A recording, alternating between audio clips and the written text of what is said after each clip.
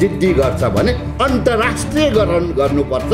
त्यो हो संयुक्त राष्ट्र सङ्घलाई गुवाहाटले अन्तर्राष्ट्रिय अदालतमा जाने प्राण सहित दाबी गर्नु पर्यो प्राइम मिनिस्टरले फोन गरेर मोदीलाई भन्नु पर्यो हामी कहाँ त जनता उर्लिसक्यो हुँ, अब सामना गाह्रो भइसक्यो। फर्कनुहोस् फौज र वार्ता गरौँ भनेर भन्नुपर्छ। जनतालाई सुसूचित हुने अधिकार अन्तर्गत सार्वजनिक गरियो। जिम्मा दिने जिम्मा लिने पदमा बस्ने वार्ता नगर्ने। त्यस्तो नालायकी काम परराष्ट्र सचिवले नगरोस्। उसले नक्सा निकालेपछि हाम्रो नागरिक विभागले अर्को नक्सा निकाल्नु पर्दैन। सभापतिज्यू वरिष्ठ पत्रकार भैरवज्यू पार्टीका नेताहरू पत्रकार बन्धुहरू सबैलाई अभिवादन छ। अरू पनि कार्यक्रम बिहान पनि दुईवटा भ्याएर कि? यसैले म संक्षेपमा सिधा सिधा कुरा राख्छु। यो भारतले नयाँ नक्सा निकाल्यो। त्यसमा हाम्रो जमिन लिम्पिया ढुरादेखि काली नदी र लिपुलेकसम्मलाई आफ्नो देखाएको त्यो नक्सामा भेटियो। त्यो नक्सा यस निम्ति हामीलाई अमान्य छ कि सुगली सन्धिको धारा पाँचले काली नदीको पश्चिम भारत काली नदीको पूर्व नेपाल भन्ने ग- प्रष्ट उल्लेख गरेको छ त्यसमा के भनेको छ भन्दाखेरि नेपालको राजाले काली नदीको पश्चिम आफ्नो दाबी छोड्यो भनेर। अब त्यो भनेको नदी नै सीमा हो भने तर नदी सीमाको ठाउँमा का काली नदीमा आएर बस्ने बित्तिकै जमिन सीमा हुने भयो। किनकि ए तुरतुरै एउटा चाहिँ पानीको उसलाई नदी भन्न सकिँदैन। हाइड्रोलोजी अनुसार जल जलाधार विज्ञान अनुसार सबभन्दा बढी पानी कहाँबाट निस्कन्छ? त्यो नै चाहिँ मुहान हुन्छ। त्यो हो लिम्पियाधुरा अब त्यहाँ सौका जातिका मान्छेहरूको घरबार छ।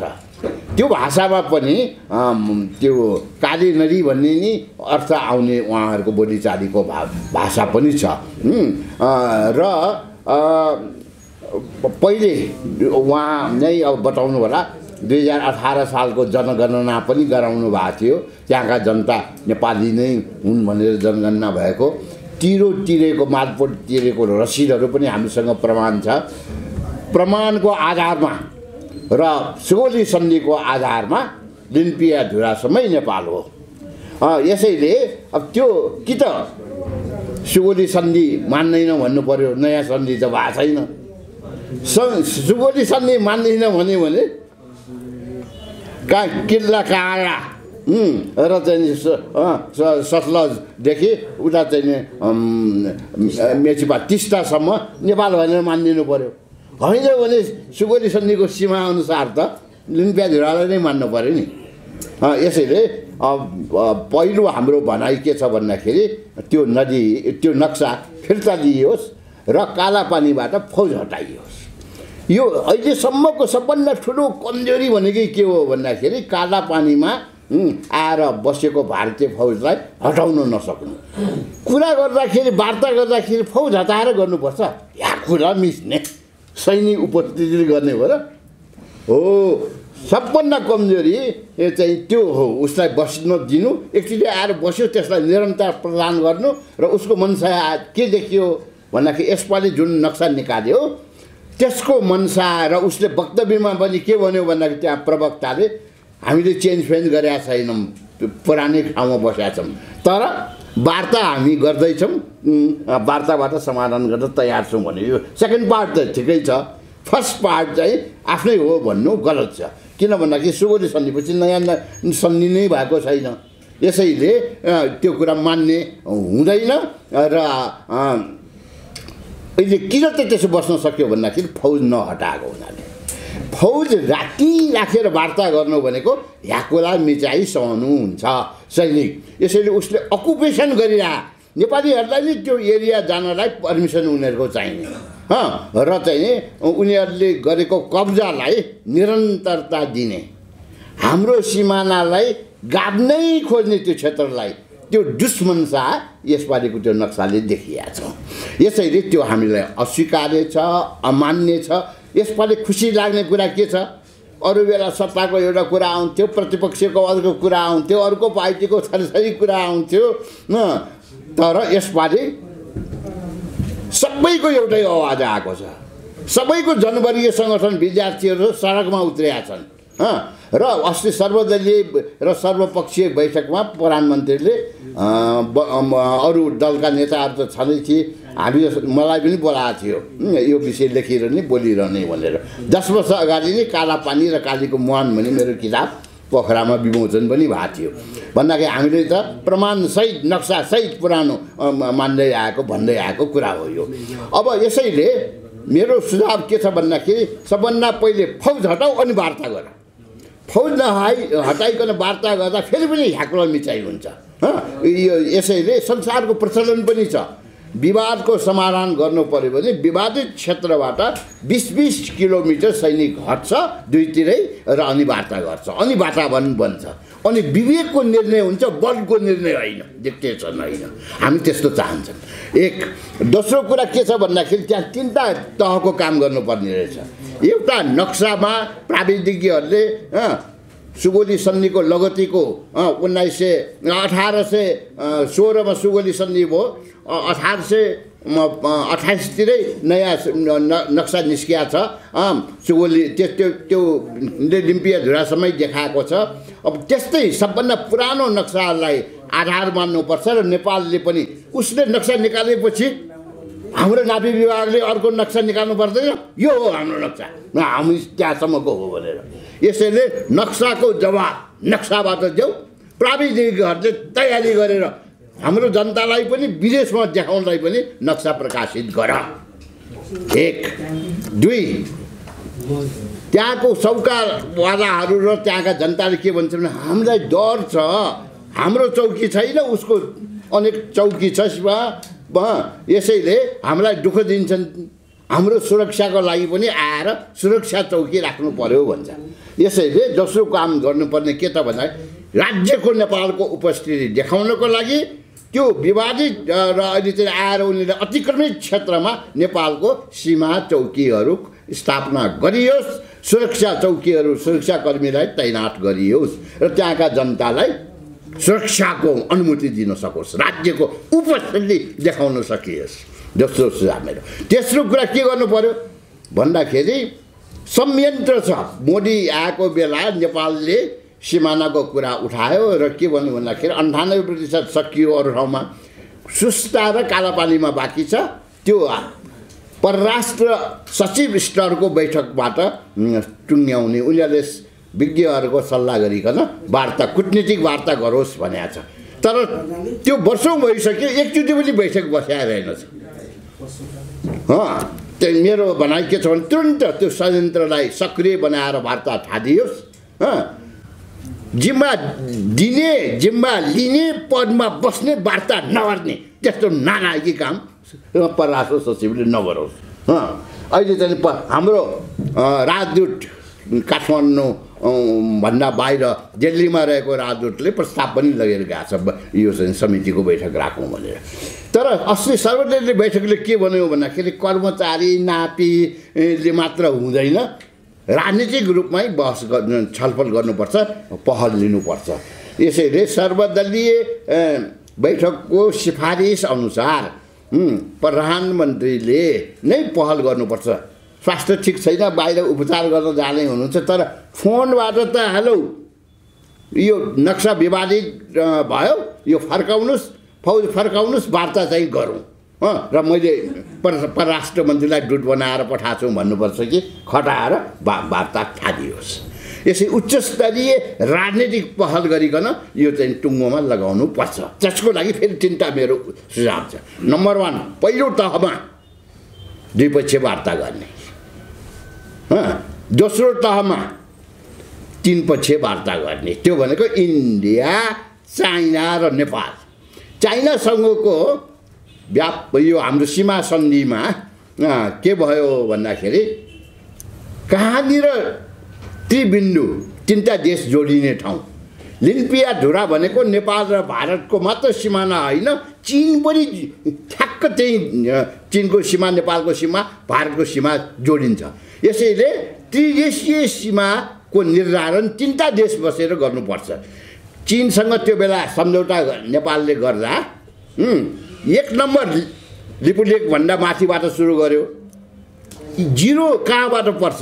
सडक बनाउँदा पनि सीमा बनाउनको स्तम्भ गाड्दा पनि जिरोदेखि सुरु गर्छ। सुन्ना सुन्ना लिम्पिया धुरामा यो तिनटै देश मिलेर चाहिँ सीमा गाड्नु पर्यो। वास्तवमा नराटी भन्ने हो भने नेपालको विरुद्ध भन्दा पनि चिनको विरुद्ध भारतले आएर सिक्सटी टूको वार हुने बेलामा बस्या हो। अरू ठाउँको सिक्सटी नाइनमा फर्क्यो चेकपोस्टबाट अठारवटा चेकपोस्टमध्ये ल- त्यहाँ चाहिँ कालापानीबाट फर्केन। यसैले हिजो उनीहरूको दुश्मनी थियो र के भन्थ्यो भन्दाखेरि त्यो यस्तो हाइट र जोग्राफिकल इम्पोर्टेन्ट ठाउँ छ त्यहाँबाट दुर्बिनले हेऱ्यो भने लिपुलेकसम्म माथिसम्म भारत चाइनिज सेनाको गतिविधि हेर्न सकिने ठाउँ। र भोलि त्यहाँबाट आएर डेली हान्न सजिलो हुन्छ छेक्ने ठाउँ भनेर बस्यो अब त तिमीहरूको मित्रता भइसक्यो नि। सबभन्दा बढी फ्रिक्वेन्टली छिटो छिटो भेट्ने मोदी र सी। अस्ति पनि नेपाल आउनु अगाडि त्यहीँ भेटेर आएको थियो र यो चाहिँ वुहान फर्स्ट वुहान सेकेन्ड उनीहरूको वार्ता भएको छ अब दुश्मनी छैन मेलमिलाप छ र अस्ति के पनि विज्ञप्ति निकालेको थियो भन्दाखेरि एकले अर्को देशसित उनीहरूको दुईवटाको बिचमा विवाद भए तापनि त्यो विवादलाई दण्डमा परिणत नगर्ने भनेको छ त्यो त राम्रै कुरा गर्यो हामीलाई पनि थाहा छ कि दुईवटा हात्ती लड्न थाल्यो भने खतरा हुन्छ। तर हामीलाई चाहिँ आश्चर्य लाग्ने कुरा के छ भन्दाखेरि दुईवटा हात्तीले लड गर्न थाल्दा पनि खतरा हुने रहेछ। लिपु लेकबारे हामीलाई नसोधिकन व्यापार गर्ने त्यो बाटोबाट भनेर चाइना र इन्डियाले चाहिँ निर्णय गर्यो। यसैले त्यसलाई पनि हामीले असहमति जनायौँ। त्यो निस् विज्ञप्ति उनीहरूको निस्कने बित्तिकै नेपालले विरोध गर्यो र प्रमाण भयो भने चिनले के भन्यो भन्दाखेरि हामी रोक्छौँ त्यहाँबाट बाटो बाटो खन्दैनौँ भनेर रोक्यो उसले। त्यो बेला अहिले प्रमाणसहित वार्ता गर्नको लागि सूर्यनाथ उपाध्यायको संयोजकत्वमा दुईजना पूर्व महानिर्देशकहरू नापिको र एकजना भूतपूर्व आर्मी जर्नल र अर्को चाहिँ एकजना परराष्ट्रको सहसचिव बसेर पाँचजनाको एउटा आयोग बनायो र त्यसले चाहिँ सबै प्रमाणहरू सङ्कलन गरिकन सरकारलाई लिम्पिया धुरासम्मै नेपालको हो भनेर त्यस बेलाको पाण्डे परराष्ट्र मन्त्रीलाई बुझायो प्रतिवेदन। त्यो प्रतिवेदन त कार्यान्वयन गर्नुको बदला परराष्ट्रको दराजभित्र ठन्क्याएर राख्यो। त्यो कोल्ड स्टोरमा राख्नको लागि प्रतिवेदन दिए होइन कार्यान्वयन गर्नको लागि हो। त्यो प्रतिवेदन म या- डबलीबाट भन्न चाहन्छु जनतालाई सुसूचित हुने अधिकार अन्तर्गत सार्वजनिक गरियोस्। लुगाएर राख्ने होइन। त्यसमा अझ प्रमाण पुगेन भने हामी दिन तयार छौँ। यहाँका विज्ञहरू दिन तयार छन्। यसैले त्यस्तो प्रतिवेदन र थप प्रमाणसहित सरकारले वार्ता थालोस्। र वार्तामा यो अघि भने जस्तो तिनटै त्यही हो। एउटा प्राविधिक तयारी गर्ने अर्को सुरक्षा चौकीहरू खडा गरेर अगाडि बढ्ने तेस्रो कुटनीतिक वार्ता गर्ने फर्स्ट द्विपक्षीय वार्ता गर्ने परराष्ट्रै स सचिव स्तरकै सही। तुरन्त वार्ता गर्नु पऱ्यो। प्राइम मिनिस्टरले फोन गरेर मोदीलाई भन्नु पऱ्यो। हामी कहाँ त जनता उर्लिसक्यो। अब ठाम्न गाह्रो भइसक्यो। फर्कनुहोस् फौज र वार्ता गरौँ भनेर भन्नुपर्छ। र द्विपक्षीय वार्ताबाट भएन भने त्रिपक्षीय वार्ता गर्नु पऱ्यो। द्विपक्षीय वार्ता भए पनि त्रिपक्षीय वार्ता गर्नुपर्छ। किनकि लिपु लेक होइन लिम्पिया धुरा मुख्य त्रिबुन्नु भएको हुनाले तिनटै देशको प्रतिनिधि बसेर छलफल गरिकन तिनटै देश मिलेर त्यहाँ जिरो पोइन्ट पिलर गाड्नुपर्छ। यसैले त्रिपक्षीय वार्ता त्रिबिन्दुमा म निर्धारण गर्नको लागि गर्नुपर्छ त्यस बोलाउनु पऱ्यो यदि द्विपक्षीय त्रिपक्षीय वार्ता। त्यतिले पनि मानेन जिद्दी गर्छ भने अन्तर्राष्ट्रिय गठन गर्नुपर्छ त्यो हो संयुक्त राष्ट्र सङ्घलाई गुहार्ने र अदालत अन्तर्राष्ट्रिय अदालतमा जाने प्रमाणसहित अँ, चाहिँ अँ, हामीले दाबी गर्नु पर्यो। यो अफ्रिकाको कतिपय देश अरू देशहरूमा यस्तो अदालत गएर आफ्नो अधिकार प्राप्त गरेका छन् सीमा निर्धारित गरे उदाहरणहरू छन्। ए आखिर संयुक्त राष्ट्रसङ्घ चाहिने नै ठुलाले सानालाई छिटोमिचो नगरोस् भनेर हो। प्रमाणको आधारमा निर्णय दिनको लागि अन्तर्राष्ट्रिय अदालत बनाएको हो। तर म पहिल्यै स्टेपमा अन्तर्राष्ट्रियकरण गर भन्दिनँ। फर्स्ट द्विपक्षीय वार्ता गरौँ सेकेन्ड त्रिपक्षीय वार्ता गरौँ तेस्रो मानेन भने अन्तर्राष्ट्रियकरण गरौँ। तर यति सबै गर्दा पनि अहिले जसरी एक आवाज निस्क्यो सबै पार्टी सबै जनवर्गीय सङ्गठन सबै चाहिँ यहाँ त यस्तो दबलिने तिन चारवटा रहेछ।